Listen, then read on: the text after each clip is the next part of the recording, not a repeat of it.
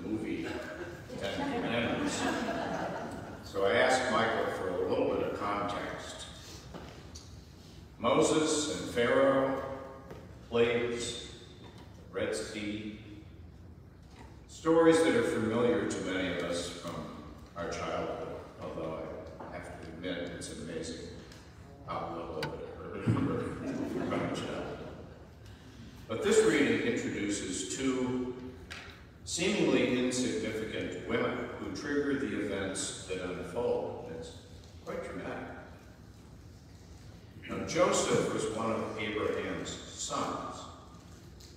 And his brothers, out of envy, sold Joseph to a caravan, and he ended up in, enslaved in Egypt. He rose to become the Pharaoh's trusted right hand man. Then there was famine, and Joseph's brothers moved to Egypt. So at this point, we begin a new chapter in the story of Exodus. And I'm reading from the 1611 King James Version, sometimes known as the People's Bible. And Joseph died and all his brethren and all that generation. And the children of Israel were fruitful and increased abundantly and multiplied and waxed exceeding mighty. And the land was filled with them. Now there arose up a new king over Egypt, which knew not Joseph. And he said unto his people, Behold, the people of the children of Israel are more and mightier than we. Come, let us deal wisely with them, lest they multiply. And it come to pass that when there falleth out any war, they will join also into our enemies and fight against us. And so get them up out of the land. Therefore they did set over them taskmasters to afflict them with their burdens. And they built for Pharaoh treasure cities, Pithom and Ramses. But the more they afflicted them, the more they multiplied and grew. The more they multiplied and grew. And they were grieved because of the children of Israel. And the Egyptians made the children of Israel to serve with rigor. They made their lives bitter with hard bondage, in mortar and in brick, and in all manner of service in the field. All their service wherein they made them serve was with rigor. And the king of Egypt spake to the Hebrew midwives, of which the name of the one was Shiphrah, and the name of the other was Puah. And he said, When ye do the office of a midwife to the Hebrew women, and see upon them upon the stools, if it be a son, then ye shall kill him. If it be a daughter, then she shall live. But the midwives feared God, and did not do as the king of Egypt commanded them, but saved the men and children alive. And the king of Egypt called for the midwives, and said unto them, Why have ye done this thing, have saved the men and children alive? And the midwives said unto Pharaoh, Because the Hebrew women are not as the Egyptian women, for they are lively and are delivered ere the midwives come in unto them. Therefore God dealt well with the midwives, and the people multiplied and waxed very mighty. And it came to pass, because the midwives feared God, that he made them houses. And Pharaoh charged all his people, saying, Every son that is born ye shall cast in the river, every daughter ye shall save alive. This ends the reading. Maybe Michael will explain it to us.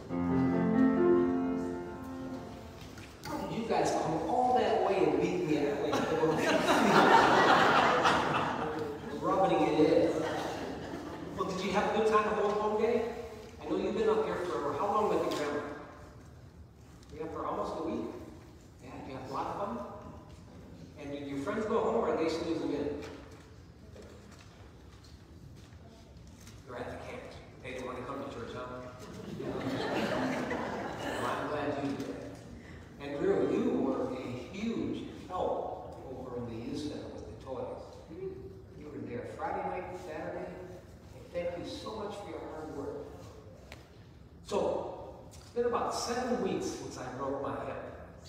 And a couple of days before I broke my hip, my, grand, my grandson Jax was here. All three grandkids were here, but the older two were not with us for the first couple of days. And Jax gave me this little orange bracelet. I think that's what you call it. And I'm not really comfortable wearing orange bracelets. but I but I love Jax. And it says three words, and I'm not sure if he gave it to me to, to give me a message or not, but it's become very, very important since I broke my hip. And the, the words are kind of rubbed off, but they say attitude is everything.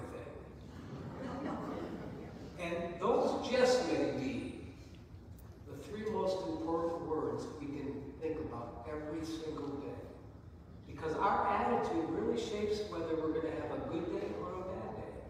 And you know, sometimes when this old man wakes up right now with this broken hip and this broken wrist, I want to lie in bed and moan. Say, woe is me. When I look at this orange bracelet, attitude is everything. It helps me get up to do my therapy and to make the best of every single day. And so as you start a new school year, when do you start?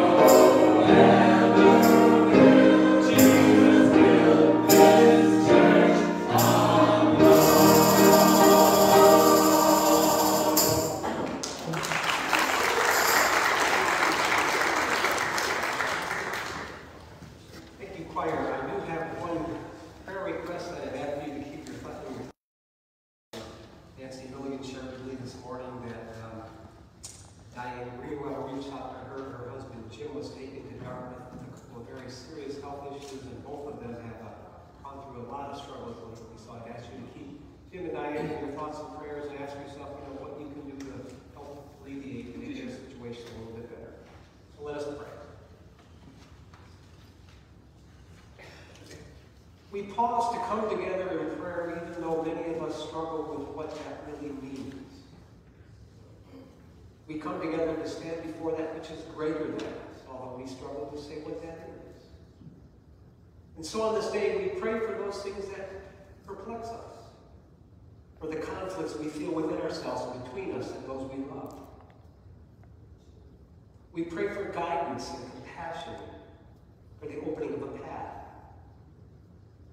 We pray and acknowledge those things that give us hope and joy, for those things that we trust in, believe in, and are willing to sacrifice. What we do know is that we gather this morning with all kinds of needs. Some are facing serious physical problems. Others need healing and hope of a different kind, emotional or spiritual. Some here are facing family problems. Some are simply weary with the struggles of life and seek assurance that this too will pass. For each of us, we speak the deepest prayers of our hearts in different ways, knowing that what it means for them to be answered will look and feel different for each of us. May we always hold in our hearts gratitude for those things that bless us with their presence. Forgiveness for the ways we have turned from those blessings, and the willingness to open ourselves anew to this beautiful and hurting. We pray in the name of truth, justice, and compassion. Amen.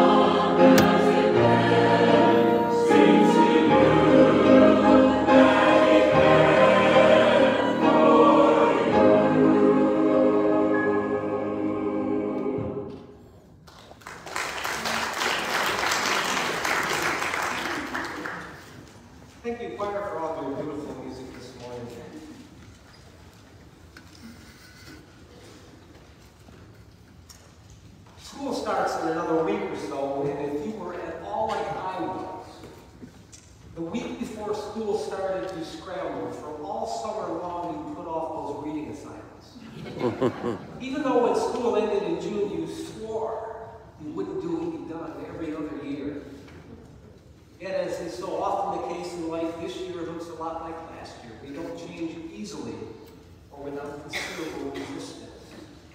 And so as we get ready to start a new church school year, I thought we'd begin with a little test. Pull out your pencils and paper. Now, I'll, I'll yell out some figures from the Bible, and you tell me what they're famous for. Some, we'll start with some real easy ones. Adam and Eve. The apple. The apple. How about Noah? The ark. Teacher's message. How about Sarah? The oldest woman to have a baby. Who got her pregnant? Abraham. Abraham. Now, a couple of tougher ones. I'd be very interested to know if any of you know who Tamar was. Who was Tamar? We can't hear you. Again. Tamar. T-A-M-A-R. Oh, Tamar. She was raped. Judy's daughter, she was raped. Yes, my daughter. Well, she wasn't actually raped. He tricked her father-in-law into sleeping with her. Something I trust no one here understands. and then there was Jephthah. Jephthah. You meet Jephthah in the book of Judges. He was a military commander. And he won this incredible battle. And he said, I will sacrifice the next thing I see to the Lord. And what did he see? His daughter. And two months later, he killed her. And who, who were the sons of thunder? James and John. James and John. Now, Adam and Eve and Noah, they're part of prehistory. They're not real people. They're part of the legendary mythology of the ancient Near East. But the rest of the people are some of the most important people in the Bible. Kings and prophets, apostles, of course, Jesus and his mother. There wouldn't be Judaism or even Christianity without some of those people. But there are two people who are never included in that biblical who's who's list. But without them, maybe the others never would have had an opportunity to shape history. And Doug introduced them this morning, Shiphrah and Puah. Now we all know the story, Exodus story. We know it enough from the Bible, like Doug said, from Cecil B. DeMille. And the portion that Doug read is just a prelude to the real story, the birth of Moses and his exploits. But for a moment, just imagine the audacity it took for two Hebrew midwives to defy Pharaoh. Midwives were people on the margin. They were women who were barren. They were nobodies. But this is a story where nobodies become somebodies. The Exodus story took place probably around 1200 BC, so 3,200 years ago. And at the time, Egypt was the most powerful nation in the world, along with the United States. Yet these two midwives blatantly disobeyed the most powerful person alive. Just imagine that. And had they not, had they done as he ordered, who knows how the story unfolds?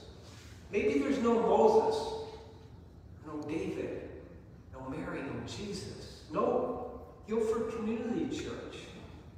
Two women, two midwives, two women on the margin, two seemingly insignificant people may have altered the entire course of human history by their act of defiance.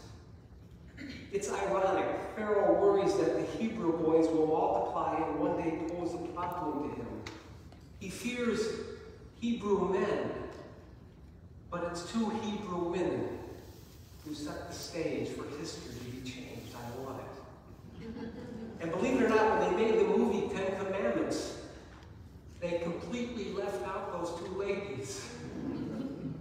So often, though, it's people overlook those taken for granted who have a significant impact.